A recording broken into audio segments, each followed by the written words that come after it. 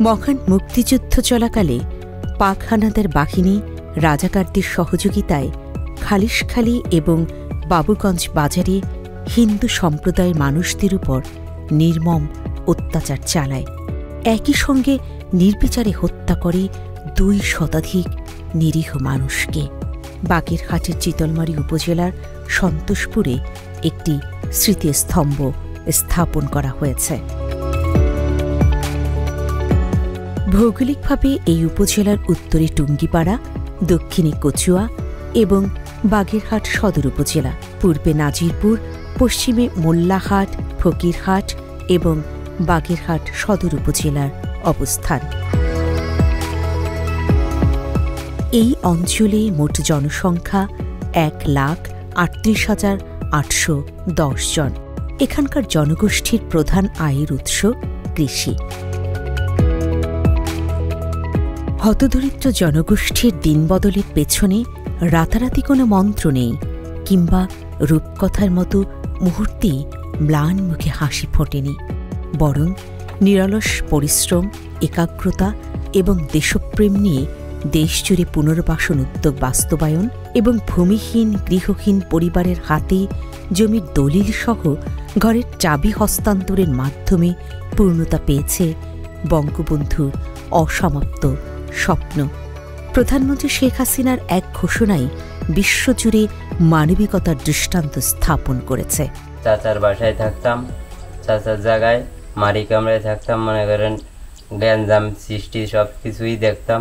থাকার পরে এখন সরকার থেকে ঘর দিছে, জায়গা দিছে, জায়গায় বসবাস করতেছি এক দেড় মাস দেড় মাস আইছি আমি। সব দিক দিয়ে ভালো হয়েছে, বাজারঘাট আছে ইটের বাটা আছে কাজকর্ম সব দিক দিয়ে টুকটাকে করতেছি জালমুড়ির ব্যবসা করতেছি।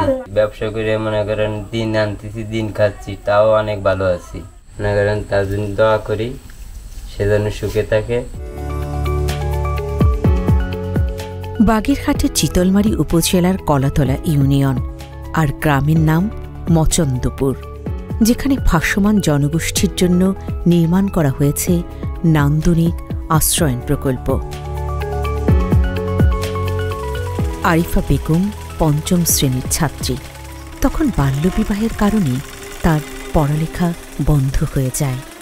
বাবা অসচ্ছল হওয়ার কারণে তাকে আর পড়াশোনা করাতে পারেননি। বিয়ের পর স্বামীর সংসার শুরু করেন আরিফা। কয়েক বছরের মধ্যে তিনি চার সন্তানের মা হন। স্বামী কৃষিকাজ করতেন। উপার্জন যা হতো তা দিয়ে সংসার চলত না ঠিক মতন। এরই মধ্যে তার স্বামী হঠাৎ একদিন নিখোঁজ হয়ে যান। এরপর সংসার সামলানোর পুরো চাপটা পড়ে আরিফার উপর। স্বামী আর ফিরে না আসায় শ্বশুরবাড়ির ছেড়ে সন্তানদের নিয়ে ছোট ভাইয়ের বাড়িতে আশ্রয় নেন। সেখানে দিন রাত সেলাই কাজ করে উপার্জিত অর্থ দিয়ে সন্তানদের বড় করেছেন। একই সঙ্গে সাধ্যমতো পড়ালেখা করিয়ে সন্তানদের বিয়েও দিয়েছেন। এখন প্রধানমন্ত্রীর আশ্রয়নের উপহারের ঘরে বসবাস করছেন আমি ক্লাস ফাইভ পর্যন্ত পড়াশোনা করছি। আমরা নয়ডা ভাই বোন ছিলাম। আমার আব্বা কৃষি কাজ বাজ করতো। ক্লাস ফাইভ তোমাতে পড়ার পরে বিয়ে দিল। শ্বশুরবাড়িতে থাকার পরে দুইটা মেয়ে হলো, শ্বশুরবাড়িতে গেলাম, তখন স্বামী ফিরে বিয়ে শাদি করে। অনেক কষ্টে আমার দিন কাটছে। পরপর আরও আরও দুইটা ছেলে মেয়ে হলো স্বামী ফিরেও বিয়ে করল। বিয়ে করার পরে চট্টগ্রাম চলে গেলাম ফ্যামিলি সহজে ভালো বানাবো। উনি চট্টগ্রাম যাইয়া আবার বিয়ে করল, তখন আমি খুব অসুস্থ হয়ে পড়ছি। তখন আমি স্ট্রোক করার মতো হয়েছি। তখন আমার মেয়েরা আমাকে ডাক্তার দেখায়। দেখানোর পরে বলা যায় এই রোগী কীভাবে বাঁচাবেন টেনশনে টেনশনে অসুস্থ আমি। আমি আবার ভাই বাড়িতে থাকতাম, ছোটো ভাইয়ের ঘরেতে ছোটো ভাইয়ের ঘরে থাকার পরে আমার শেখ হাসিনা ঘর দেয়। আমি সেই ঘরে বাস করে আমি খুব শান্তিতে আছি। আমি শেখ হাসিনার ধন্যবাদ জানাই যে আমি সুখী আছি, আমার মতো গরিব মানুষও জানি, সুখী থাকে, শেখ হাসিনা জানি এইভাবে তাগো সুস্থ রাখতে পারে। এখন এই মুরগি আছে, মুরগি পালি। আর ওই ডিম পারে, ডিম খাই বাচ্চা বানাই, বাচ্চা বড় বানাই বেশি। স্বামীর বাড়িতে চলে আসার পরও সেলাই মেশিনের কাজ করি আমার ছেলে মেয়ের লেখাপড়া শিখেছি, নিজে চলছি। আর এখন আমি সেলাই মেশিনের কাজ করি। করে আমি নিজে চলতেছি তাই দিয়ে। উপকূলীয় অঞ্চলের নদী তীরবর্তী বসতি প্রতি বছরই প্রাকৃতিক দুর্যোগে ক্ষতিগ্রস্ত হয়।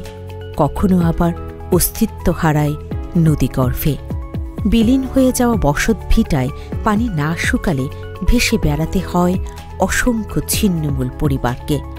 ভাসমান জীবনযাপনে অভ্যস্ত, এই জনগোষ্ঠী পুনর্বাসন উদ্যোগে হয়ে উঠছে সমাজের মূল ধারার নাগরিক। বাস্তুহারা ঠিকারাহীন মানুষ থেকে স্থায়ী আবাস স্থলে বসতি গড়ে হয়ে উঠছে স্বাবলম্বী। রেনুফা বিশ্বাসরা ছিলেন ছয় ভাই বোন তার বাবা ছিলেন একজন দরিদ্র কৃষক। রেনুফার বাবার ছোট্ট একটা ভিটেতে সবার বসবাস ছিল। কিন্তু আয় কম হওয়ায় নিত্য সংকট পিছু ছাড়েনি থেকে বের হয়ে আসা তাদের আর হয়নি। আশ্রয় নেন বাবার বাড়িতে। দুর্ভোগ তখনও তাদের সাথেই রয়েছে। যার কারণে লেখাপড়াও হয়নি তার। একসময় এক দুস্থ কৃষকের সঙ্গে বিয়ে হয় রেনুফার কিছুদিন পর মানুষের বাড়ি বাড়ি কাজ শুরু করেন। কয়েক বছর গড়াতেই দুই কন্যা সন্তানের জননী হন। বেড়ে যায় খরচের চাপ। তারপরও কোনো রকমে চলে যাচ্ছিল সংসার। কিন্তু হঠাৎ স্বামীর মৃত্যুর কারণে সব ওলট পালট হয়ে যায় তার। কিছুদিনের ব্যবধানেই শ্বশুর বাড়িতেও আর থাকা হয়নি। নদী ভাঙনে সব বিলীন হয়ে গেলে ভাসমান জীবনের শুরু হয় তার। তখন অন্যের বাড়িতে কাজের বিনিময়ে বসবাস করতে থাকেন। এভাবেই কাটে আরও কিছু বছর। এর মধ্যে প্রধানমন্ত্রী শেখ হাসিনার উপহারের ঘর পেয়ে ভাসমান জীবনের অভিশাপ থেকে মুক্ত হয়েছেন তিনি। আমরা ছয় ভাই বোন। বিয়ে হয়েছে, তিরিশ বছর স্বামী মারা গেছে। তারপরে দূরে মাইয়া হয়েছে। তাই জন্য এটা সময় কাজকর্ম করে এটা খাওয়া টাই বিয়ে সাথে দিছি। আর সেই এই আগা মাথা তোমাতে, এই তোমাতে কষ্ট, দুঃখ করি, আই তোমাতে আইছি। আমার তো গরিব মানুষ, আমার তো কিছু নাই। আসি নিয়ে ঘর কাঁদতেছে খুব খুশি হয়েছি ভাইয়া। সে বাঁচে গেছে থাক সে তার জন্য তো অনেক বাস করতেছে ঘরে মাথায় দিয়ে শুয়ে থাকি। বয়স্ক ভাতা দশ দশটা কেজি চাইল ভাই পানির ট্যাঙ্কি পাইছি কারেন্ট পাইছি এবার আমাদের গন্তব্য একই উপজেলার বড়বাড়িয়ার ইউনিয়নে। গ্রামের নাম হারিয়া ঘোষ। এই জায়গায়ও স্থায়ী আশ্রয় হয়েছে ভাসমান মানুষদের। দরিদ্র পরিবারের সন্তান ওবায়দুল শেখ, যার কারণে তার স্কুল পাঠ সম্ভব হয়নি। যখন তার বয়স মাত্র আট বছর, তখন বাবার হাত ধরে ভোরের আলো ফোটার আগে বেরিয়ে পড়তেন ঘর থেকে। সেখানে সারা দিন বাবাকে কাজে সহযোগিতা করতেন। একসময় সে নিজেই কৃষিকাজ করে আয় করতে শুরু করেন। বাবা মারা গেলে একার পক্ষে পুরো পরিবারের ভরণ পোষণ তার জন্য বেশ কঠিন হয়ে পড়ে। এরপর বিয়ে করে সংসার জীবন আরম্ভ করেন শ্বশুর বাড়িতে অসম্মানের হলেও কোনো উপায় না থাকায় এভাবেই তাকে বসবাস করতে হয়েছে। সময় গড়াতে থাকে, তাদের জীবনে ঘটে যায় অনেক ঘটনা। এখন তাদের তিনটি সন্তান।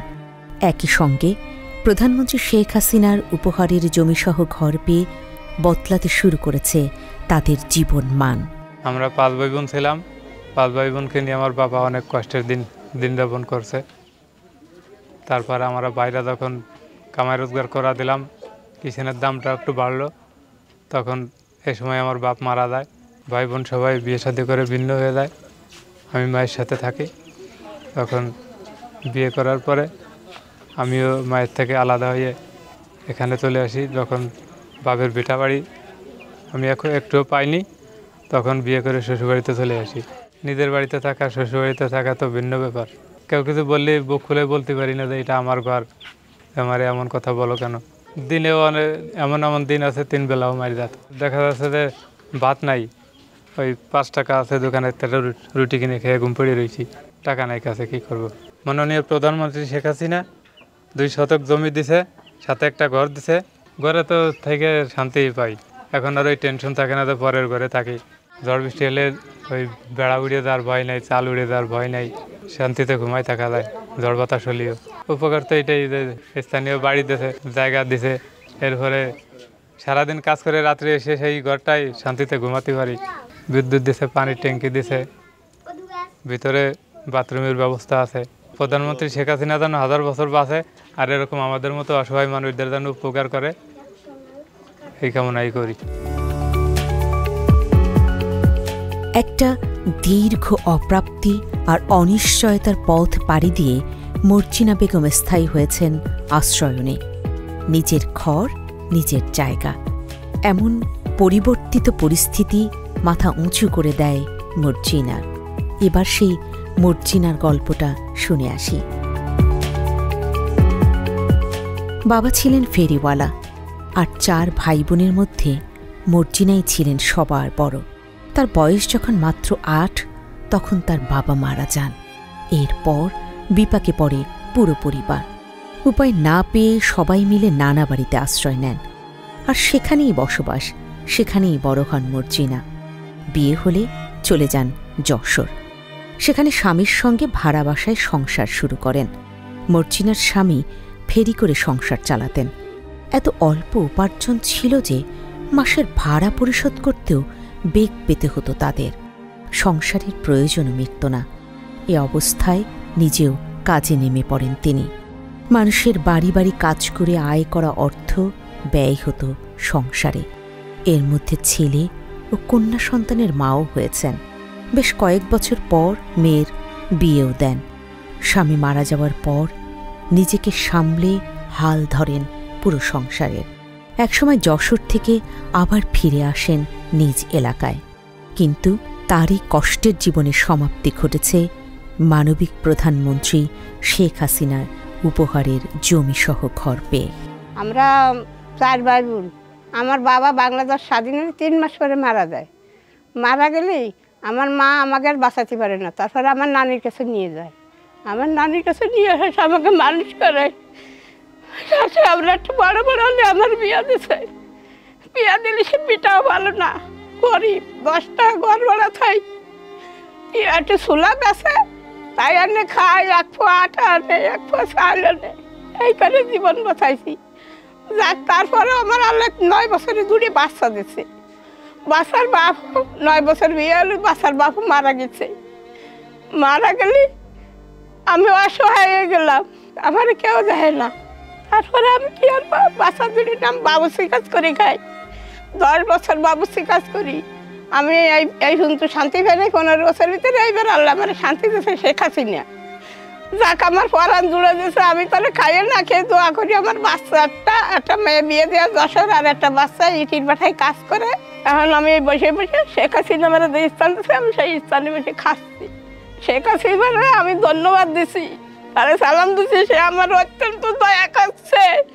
আমি তার বুক পান জুড়াই তার আমি দোয়া দিছি।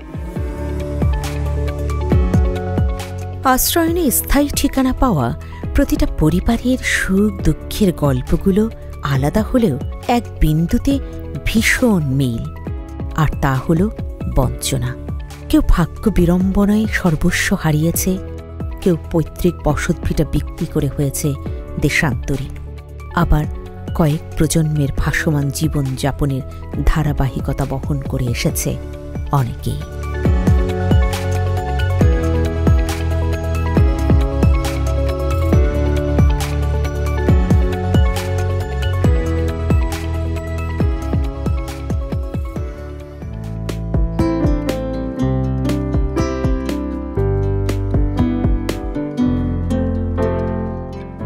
মোল্লাহাট নামকরণের কয়েকটি জনশ্রুতি আছে।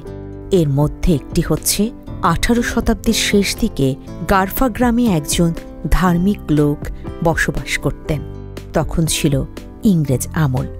তখন তিনি মসজিদে ইমামতি করতেন। সে সময় গারফা গ্রামে তিনি একটি দোকান ঘরের গোড়াপত্তন করে বলে শোনা যায়। পরবর্তী সময়ে তখনকার গণ্যমান্য ব্যক্তিদের প্রচেষ্টায় ওই গ্রামে একটি হাট স্থাপন করা হয়। মোল্লা সাহেব মারা যাওয়ার পর সকলের সম্মতিতে ওই হাটের নাম মোল্লাহাট হিসেবে নামকরণ করা হয়। পরবর্তীকালে মোল্লার হাট থেকে বিবর্তন হয়ে এই অঞ্চলটি মোল্লাহাট নাম ধারণ করে। এই উপজেলার উত্তরে নড়াইলের কালিয়া উপজেলার অবস্থান। দক্ষিণে ফকিরহাট এবং চিতলমারি, পূর্বে চিতলমারি, গোপালগঞ্জের টুঙ্গিপাড়া এবং গোপালগঞ্জ সদর উপজেলার অবস্থান। পশ্চিমে খুলনা জেলার তেরোখাদা, চুনখোলা ইউনিয়ন এবং রূপসা উপজেলা। বৈষম্যহীন সমাজ ব্যবস্থায় প্রতিটি মানুষই রাষ্ট্রীয় অবকাঠামোর হিস্সা। নাগরিক দায় দায়িত্ব পালনে এবং গ্রহণে সমতাও গুরুত্বপূর্ণ। উন্নয়নশীল বাংলাদেশের গন্তব্য উন্নত, সমৃদ্ধ, স্মার্ট রাষ্ট্রের লক্ষ্যে। যে লক্ষ্য বাস্তবায়নে দেশজুড়ে ভূমিহীন পুনর্বাসনে উদ্যোগ নিয়েছে বাংলাদেশ সরকার। এরই ধারাবাহিকতায় এই উপজেলার চুনখোলা ইউনিয়নের কাঁচনা গ্রামে ভাসমান মানুষদের স্থায়ী ঠিকানার ব্যবস্থা করা হয়েছে। মারুফা খাতুনের বাবা মসজিদে ইমাম ছিলেন। তারা মোট সাত ভাই বোন বাবারও নিজের স্থায়ী ঠিকানা ছিল, কিন্তু আর্থিক অবস্থা ছিল নাজুক। সপ্তম শ্রেণি পর্যন্ত পড়ালেখা করতে পেরেছেন। এরপর বড় বোনের সঙ্গে রাজধানী শহর ঢাকার পোস্তগোলায় চলে আসেন। সেখানে বেশ কিছু সময় গার্মেন্টস কর্মী হিসেবে চাকরি করেছেন। আবার ফিরে আসেন বাবার বাড়িতে। সে সময় তার বিয়ে হয়। স্বামী পেশায় ছিলেন কাঠমিস্ত্রি। থাকতেন শ্বশুর বাড়িতে যৌথ পরিবারে। তাদের জীবন জুড়ে পদে পদে ছিল চরম হতাশা আর বঞ্চনার গল্প। সব কিছু ছাপিয়ে এই দম্পতি এখন সরকার প্রধানের দেওয়া উপহারের ঘরে নিশ্চিন্তে বসবাস করছেন। আমার আব্বা ছিল হচ্ছে মসজিদের ইমাম। সেভেন পর্যন্ত পড়ালেখা করার পর আর করতে পারি নাই। সব অর্থ ছিল না তাই। কষ্ট ছিল, আমার আব্বা একা ইনকামের লোক। আমরা ভাই বোন সবসময় ছোটো ছিলাম, সাতটা ভাই বোন ছোটো ছোটোই ছিলাম তো একা ইনকাম করে, উনি ইনকাম যদি বন্ধ হয়ে থাকে, তাহলে তো সমস্যাই হয়। খাওয়ার সমস্যা কাপড় চোপড়ের সমস্যা। তারপরে আমার বড় বোনের সাথে দেখা যায় এক বছর কাজ করেছি প- ওখান থেকে বাড়ি আসার পরে, এই সেলাই মেশিনের কাজ করছি, শিখছি এক বছর। শেখার পরে তারপরে আমার বিয়ে হয়েছে। তা বিয়ের পরে এই যে আমার শ্বশুর বাড়িতে ছেলে মেয়ে তিনটে, আমার দুটো মেয়ে, একটা ছেলে। তো আমার শ্বশুরের যে জায়গা, আমার শতালু বাসুর বড়জন লিখে নেছে। অনেক ছোট সে সময় আমার স্বামী। তো এতদিন সবাই ছিল, কেউ কাউকে কিছু বলি নাই, পরে উনি বেশি বেলাইছে ওই জায়গা অন্যজনের কাছে বিক্রি করছে, এখন আমাদের থাকার কোনো জায়গা নেই। হ্যাঁ ঘরটা দিয়েছে প্রধানমন্ত্রী শেখ হাসিনা। এবং পাওয়াতে আমাদের অনেক সুবিধা হয়েছে যে আমাদের কোনো স্থান ছিল না। স্থান পেয়েছি, আর যেহেতু আমরা, আমাদের কোনো টেনশন নাই এখন। কারণ এই যে ঘরটা, কমসে কম তিন, চার লাখ টাকা খরচ হয়েছে। আর এইটা আমাদের তো সমর্থ নাই দেওয়ার। শুধু টিন দিয়ে দেবো, তাই আমাদের দিতে কষ্ট হচ্ছে। আর ছেলে মেয়ে খাওয়া দাওয়া খরচ তো কম না সংসারে। যেরকম আমার শাশুড়ি বয়স্ক ভাতা পায় এটাও তো প্রধানমন্ত্রী দিছে এখন এই যে তার মধ্যে ঈদের চাউল টাউল অনেক কিছুই দেয়। তো ওনার জন্য তো দোয়া পার্সোনালভাবে থাকবে, মনের থেকেই থাকবে। টেকসই উন্নয়ন লক্ষ্যমাত্রার পাশাপাশি ঠিকানাহীন মানুষের আশ্রয়ে নারীর ক্ষমতায়ন শিক্ষা, সুস্বাস্থ্য, কর্মসংস্থান এবং নতুন প্রজন্মের উন্নত জীবন নিশ্চিত হয়েছে। একজন দরিদ্র কৃষকের ঘরে জন্ম ফাতেমার বাবা, মা এবং তারা চার ভাই বোন এই মিলে ছিল তাদের পরিবার। বাবার নিজস্ব ঠিকানা থাকলেও অর্থ সংকটের কারণে সংসারে অনটন লেগেই থাকত। মাত্র তিন বছর বয়সে বাবা মারা গেলে দারুণ বিপাকে পড়ে পুরো পরিবারটি। এক পর্যায়ে বেদখল হয়ে যায় তার বাবার রেখে যাওয়া সম্পত্তিটুকু। এরপর পুরো পরিবারটি বিচ্ছিন্ন হয়ে যায়। খুব ছোটবেলা থেকেই ফাতেমা মানুষের বাসা বাড়িতে কাজ করা আরম্ভ করেন। বড় হওয়ার পর তিনি বাসা ভাড়া করে বসবাস শুরু করেন। বাসাবাড়ির কাজের পাশাপাশি যখন অন্য যে কোনো কাজ পেতেন তা করে উপার্জন করতেন। একসময় ছোট বোনের বাড়ির সামনে একটু জায়গার ছনের কুটির ঘর বানিয়ে বসবাস শুরু করেন। ছয় বছর আগে তার মা মারা যাওয়ায় একেবারেই একা হয়ে পড়েন এই অসহায় নারী। এখন তিনি বসবাস করেন প্রধানমন্ত্রী শেখ হাসিনার দেওয়া উপহারের ঘরে। বাপের অবস্থা ভালো ছিল না কিষেন বাদা বয় খাতো আমার ভাই বোন, আমরা চারজন। বাপ মরে গেছে ছোট থাকতে। সে মেলা কষ্ট মষ্টে আমরা ভিন্ন ছিন্ন হয়ে গেলাম। মা আমাকে নিয়ে ফকির রাজ্যে কাজকর্ম করে খাতো। বিক্রি পর্যন্ত করে খাইছে, খয়রাত ময়রাত করে আমার মা আমাকে মানুষ করছে। মেলা কষ্টের জীবন আমাকে, এখনও পর্যন্ত কষ্ট করি। মাডা মারা গেছে। রাত্রি এমন আছে, আমার মা পাতি নাইছে খাজুরির পাতার পাতি নাইছে, ওই রোদের পাশেও আমাকে সহায় রাখছে। মেলা কষ্টে আমাকে জীবন গেছে আমার বিয়ে হয়েছিল হকেই রাত। তিন মাসের গর্ভ থুয়ে মারা গেছে, সেই বাতে একটা ছেলে আছে। তখন কোলে একটা থাকলে কেউ কাজকর্ম করাতো না। তার চাইয়ে চিনতে খাতাম। তারপরে ও যখন একটু ডাঙ্গর হয়ে গেল, তখন মানুষের বাড়ি বাড়ি কাজ করতাম। উ হুগার মানে আলহামদুলিল্লাহ, আমি আরও তার জন্য আমরা নামাজ পড়ে দোয়া করি। আমি কইকে, আল্লাহ, তুমি তারে সুস্থ রাখো, তারে ভালো রাখো। সে আমাকে ঘর দেছে। এরকম ঘর কোনো সরকার দেয়নি। আমার সরকার এইরকম ঘর দেছে। সরকার কি খারাপ করছে নাকি আমাকে? আমাকে উপকার করছে। তার জন্য কানবো না, কানবো কার জন্য? তার জন্যই আমার আমরা কানবো। থাকতাম কোন এমন আছে রাস্তাঘাটে শুয়ে থাকতাম মাছের পিটেন খাতাম, মার খাতাম। অনেক কষ্ট করেছি এই জাগার জন্য, ঘরের জন্য। আর আল্লাহর কাছে কানতাম যে, আল্লাহ, তুমি একটু জাগার ব্যবস্থা, একটু ঘরের ব্যবস্থা করে দাও তা আল্লাহ দেশে শেখ হাসিনা দিয়ে দেয় আইসে আল্লাহ। থাকার একটা জায়গা না খেয়ে যদি এক গ্লাস পানি খাইও, শুয়ে তাই তাও আল্লাহর কাছে শান্তি। শেখ হাসিনার জন্য দোয়া করি।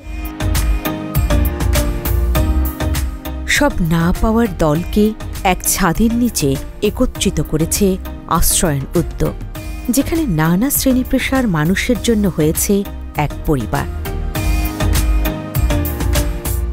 বাবুল শেখ, এই জনপদের একজন বঞ্চিত মানুষ। জীবনের পরতে পরতে যার ছিল শুধু না পাওয়ার বেদনা, গরিব ঘরে জন্ম হওয়ায় ছোটবেলা থেকেই বেড়ে উঠেছেন কঠিন বাস্তবতার মধ্য দিয়ে। তার উপর মা মারা যাওয়ায় জীবনটা ছিল ছন্ন ছাড়া।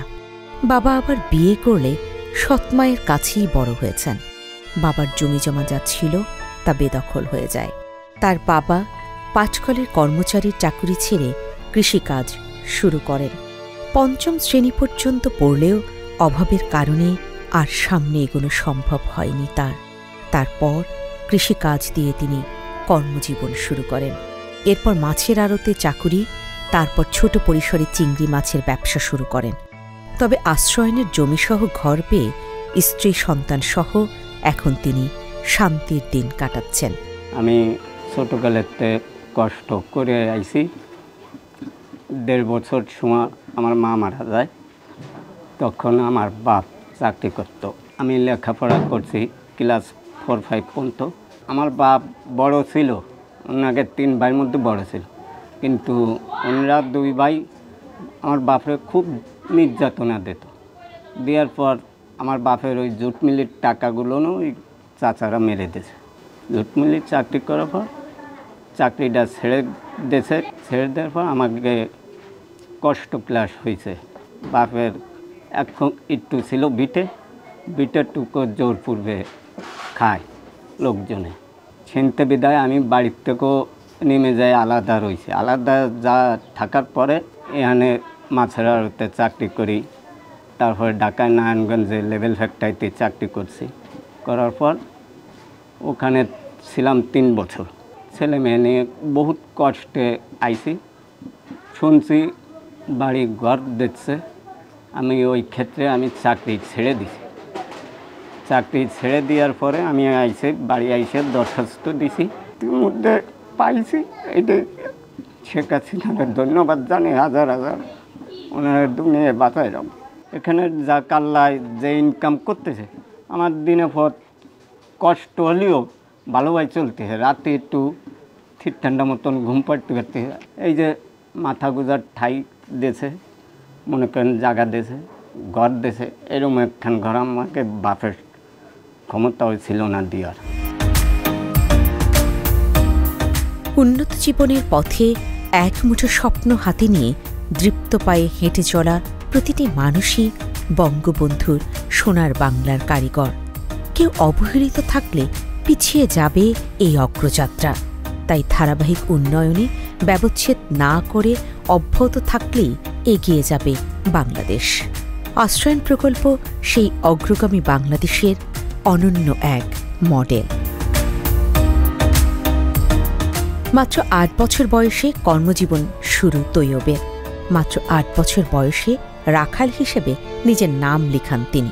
উপার্জন অল্প হলেও কোনো মতে বাবার সংসারে সহযোগিতা শুরু করেন। কিছুটা বড় হয়ে শুরু করেন কৃষিকাজ। কয়েক বছর পর বিয়ে করে পা দেন সংসার জীবনে। ছোট্ট একটি ঘরে বসবাসের সমস্যা হওয়ায় খাস জমিতে ঘর তুলে শুরু করেন বসবাস। কয়েক বছরের মধ্যেই ছয় সন্তানের বাবা হন তিনি। এভাবে পরকাছার মতো এখানে সেখানে আশ্রয় থেকেছেন। অবশেষে প্রধানমন্ত্রীর আশ্রয়নের উদ্যোগে তিনি পেয়েছেন স্থায়ী নিরাপদ ঠিকানা। আমার বাপও গরিব ছিল, ওই পনেরো দুই কাঠা জায়গা হয়েছিল বাপে। সেখানে থাকতাম, তারপরে ওই ভাই বোন চারটে ভাই বোন পনেরো দুই কাঠা তা কী হয়? তা তাও বিক্রি দিয়ে দিয়েছে। এখন ওই যার যার ওই বোন দুটো তার স্বামীর বাড়ি বাইরে অন্য ওখানে একটু কিনে কেটে রয়েছে, আর আমি আর কিনতে কাটতে পারিনি।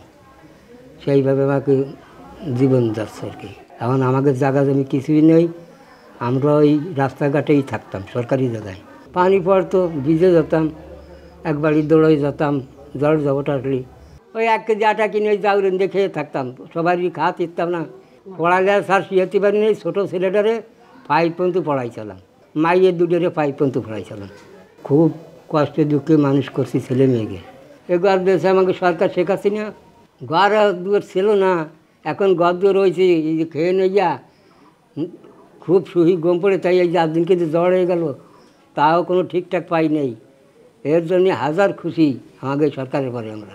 দোয়া করি নামাজ পড়ে দোয়া করি, যে তানারে ভালো রাখেন। ভালো থাকুক।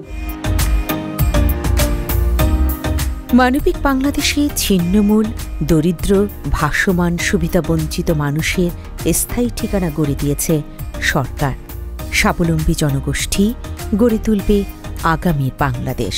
আমাদের বাগেরহাট জেলার মোল্লাহাট উপজেলায় মোট চারশো চুয়াত্তরটি ঘর এই আশ্রয়ণ প্রকল্পের মাধ্যমে হস্তান্তর করা হয়েছে।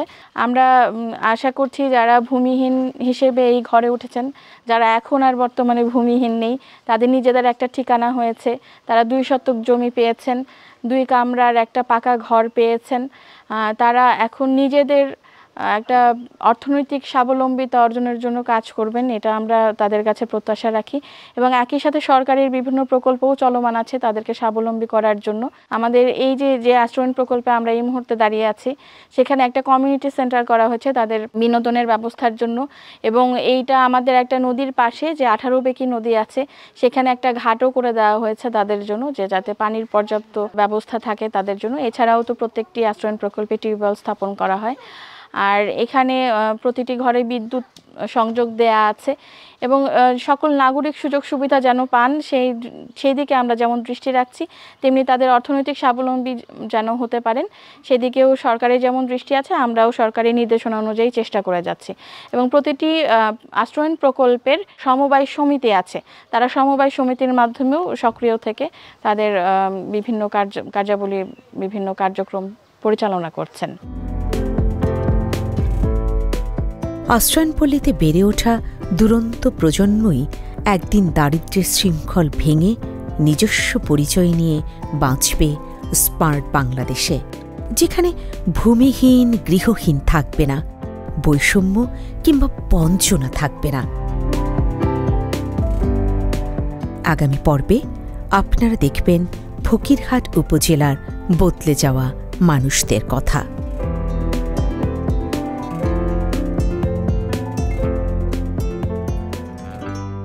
বাবা মারা গেল এর ভিতর মারা যাওয়ার পরে সংসার গায়ে এসে গেল। নারকেল সুপারি পারতাম পরের বাড়ি। ওই তাই যা পাতাম নিয়ে আটে বিক্রি করতাম করে চাল ডাল কিনে আনতাম। এখন আর সেই কষ্ট নেই যতক একটা ঘর পাইছি শেখ হাসিনা ঘর দিছে মাথা গোজার ঠাই দিছে যখন শাকসবজি লাগাচ্ছি নিজের মতো স্বাধীনতা করে খাচ্ছি ভাড়া দিতে হচ্ছে না। তাকে আমি ধন্যবাদ জানাই। আমাকে এই ঘর দেওয়াতে আমরা খুব একটু সুখী আছি। নিরাপত্তা থাকতে পারতেছি আর। আগে তো রাত্রি নিরাপত্তায় থাকতে পারতাম না